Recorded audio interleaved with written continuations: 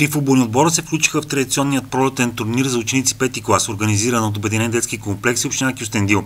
В надпреварата участваха тимовете на основно училище Свети Свети Кирил и Методи, основно училище Свети Паиси Хелендарски и природо-математическата гимназия професор Емануил Иванов. Срещите си играха на стадион Осогола. Турнирът беше открит от директорът на Обединен детски комплекс в Кюстендил Бойко Малинов. Отборите играят на принципа на елиминиране. Три отбора са за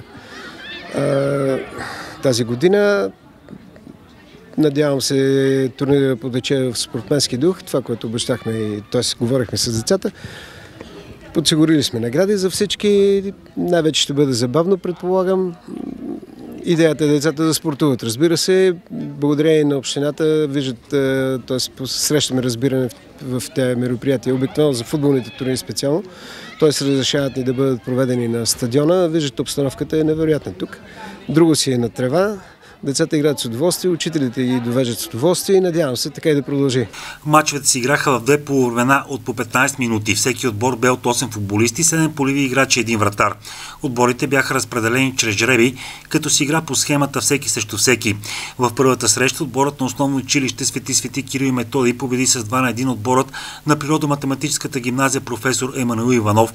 Във втората отборите на природо-математическата гимназия и основно училище Свети Паиси Хелендарски завършиха на равно 3 на 3.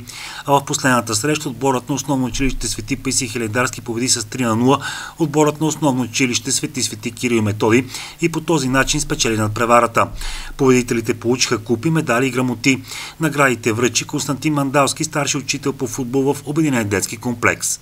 Имаме грамоти за учителите, защото трудът на учителите така остава малко на заден план обикновено. Вниманието е концентрирано към децата в повечето случаи, но зад тези отбори стои един учителски труд и то доста сериозен.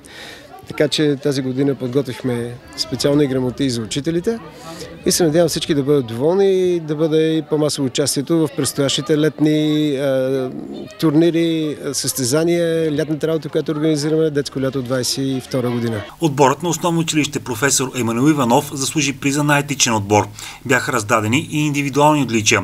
Призът за най-добър вратар получи Виктор Миланов от основно училище Свети Паиси Хелендарски, а за най-добър защитник бе избран Георги Тончев от основно училище Свети Свети Кирил и Методи. Най-добър полузащитник е Георги Павлов от природо-математическата гимназия, а за най-добър нападател бе определен Георги Димитров от основно училище Свети Паиси Хелендарски. Приз за най-перспективен състезател получи Даниел Малинов от основно училище Свети Паиси Хелендарски.